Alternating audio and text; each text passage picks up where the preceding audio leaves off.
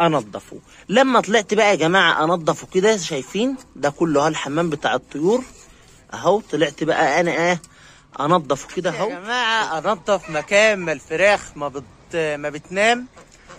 بجد بجد يعني أنا اتصدمت من المنظر اللي شفته. أو اتفاجئت أي حاجة.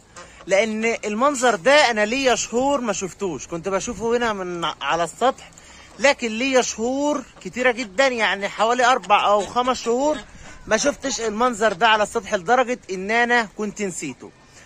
بحمد ربنا جدا جدا جدا قبل ما أقول لكم اهو ده وببوس إيدي وش وظهر على الحاجة دي. عايزكم يا جماعة تنزلوا بسرعة تشتركوا في قناتنا في مزرعه لو مش مشتركين. وتفعلوا الجرس عشان يوصلكم كل جديد. وأي حد عنده سؤال يسيبه تحت في الكومنتات وما تنساش تصلوا على النبي عليه أفضل الصلاة والسلام وكل يعمل like للفيديو ده عشان أكبر عدد من الناس يشوفوه وتستفيد لأن الفيديو ده فيه كلام مهم جدا وحاجات مهمة جدا. وما تنسوش يا جماعة تعملوا like للفيديو عشان أكبر عدد من الناس يشوفوه وتستفيد. أنا عدتها تاني برضه. ويلا بينا نشوف إيه اللي أنا لقيته لما نزلت انضف مكان يا جماعة للناس اللي لسه بيشوف قناة يومياتي في مزرعتي لأول مرة هعرفكم بس كده على الطيور وكمان على السطح بتاع يومياتي في مزرعتي. طبعا يا جماعة بسم الله ما شاء الله زي ما أنتم شايفين كده أنا عندي آه الرومي وكمان عندي اللي هي الفراخ البلدي أهي والبط والوز كل الطيور زي ما أنتم ما شايفين كده سايبة على السطح. أنا ما كنتش بحبسهم. أنا ما كنتش بحبسهم بس برضو هنقول في الفيديو ده أنا بقيت بحبسهم ولا ما بقتش بحبسهم. طبعا يا جماعة زي ما أنتم عارفين الرومي بيحب يبيت على أماكن مرتفعة. الرومي بيحب يبيت على أماكن مرتفعة وأنا طبعا زي ما أنتم شايفين كده السطح عندي مكشوف فما ينفعش إن أنا أخليه مثلا يبيت فوق العشش أو كده لأن هو بيصحى بيصحى بدري جدا ممكن يقع يطير تحت معرفش أجيبه. أنا في الدور السابع والدور الأرضي تحت خالص بعيد عني. فلو ما وقعش مات مش هلقاه لأن حواليا طريق سياحي يعني طريق عربيات وورايا غيطان وأرياف كده وزرع وكده وكمان في كلاب وفي ثعالب وغير ده وده. في ناس بتعدي كده الصبح من الطريق ممكن يعني لا أبسط الأمور والله العظيم يعني أي حد حتى لو كده مش هيلاقي مثلا ديك رومي أو أي حاجة وبيسيبوها اللي بيقع تحت ما بيرجعش. يا العربيات على الطريق السياحي بتكون معدية وتخبطه يا أي حاجة. فهم يا جماعة كانوا بيناموا في المكان ده. حتى لو أنتوا هتلاحظوا عليه حمام كده وقرف كتير. ده ده المنور. ناس كتير جدا هتنزل تهاجمني تحت في الكومنتات وتقول لي إزاي بتنيمهم في المنور أو إزاي بتخليهم يناموا في المنور.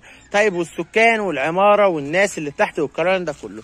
هقول لكم اعملوا لايك للفيديو وتعالوا نرجع أقول لكم أنا لا ببيتهم أنا ببيت. الطيور يا جماعة في المنور أو بسيبهم يبيتوا في المنور. اولا هم كانوا بينزلوا يناموا على الإقفاص في الحتة دي.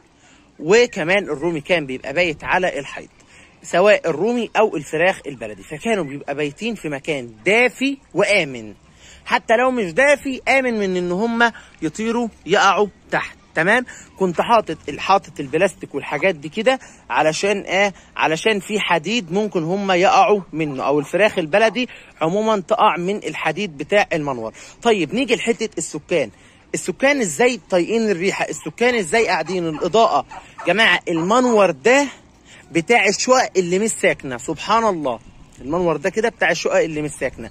وزي ما أنتم شايفين السطح البيت مساحته ضخمة ما شاء الله كبيرة. فما في ما في مناور وفي بلكونات كتيرة في مناور وفي بلكونات كتيرة. فالمنور ده مستغنيين عنه. مش أكيد أنا يا جماعة هيكون في ناس ساكنة تحت وهروح مبيت الفراخ فوقهم في المنور. على العموم أنا كنت عم صور لكم فيديو من ياجي شهر ساعة لقينا البط والفراخ بايتين في الحتة دي. وساعتها أنتوا قعدتوا تقولوا لي المنور والناس والكلام ده. وبرده كان الجو برد فبطلت إن أنا أعمل لهم إيه أوقفهم. فسبت إيه لما المنور نشف خالص كده وجف. شايفين؟ أهو علشان أقدر إن أنا انضفه لما طلعت بقى يا جماعة انضفه كده شايفين؟ ده كله أهو الحمام بتاع الطيور. أهو طلعت بقى أنا إيه انضفه كده أهو. شايفين؟ أهو. ما أنا بقى مش هينفع إيه انضف هو طري شايفين ده إيه له يجي شهر أهو. بحبسهم أنا في العشش ليا يجي شهر عشان البرد. فده إيه بقى ناشف بقى أهو.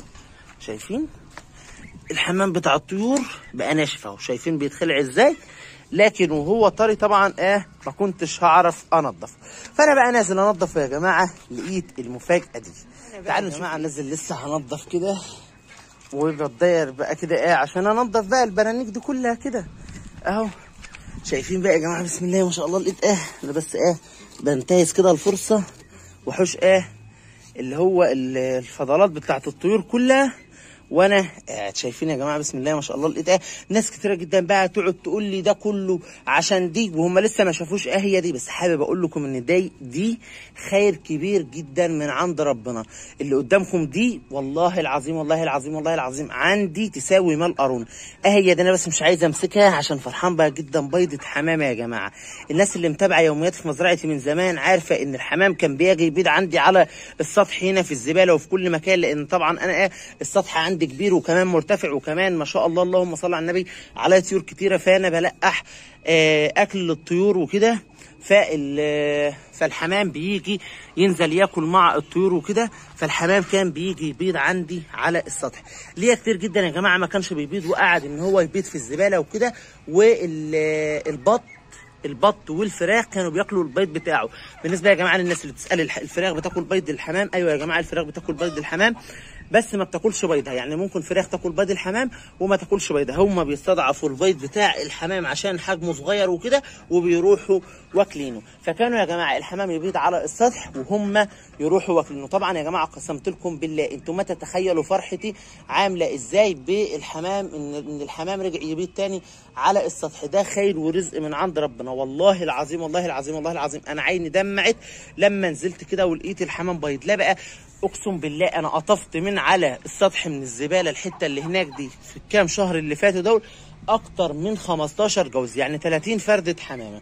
ادعوا لي يا جماعة ربنا يكرمني ويرزقني وهنضف بقى ده كله. طبعا اللي خلاهم رجعوا يبيضوا تاني إن أنا بقيت بحبس الفراخ والطيور بحبس الطيور كلها عامة في العشة اللي هناك دي. وده كان الفيديو بتاعنا بتاع النهارده وإن شاء الله إن شاء الله بكرة لما اصور فيديو هبقى اوريكم ان أنا نظفت ال- المنور ووديته زي القشطة. اي حد عنده سؤال أو اي أو اي حد عايز اي حاجة يكتب لي تحت في الكومنتات وان شاء الله لما الحمامة تبيض البيضة الثانية وترقد عليها وكده هبقى اصورها لكم. بالنسبة يا جماعة الناس اللي بتقول لي صور لنا الحمام وهو راقد على البيض والله العظيم يا جماعة أنا ما بعرفش لأن بمجرد ما بيسمع رجلي على الأرض بيروح آه، طاير بسرعة.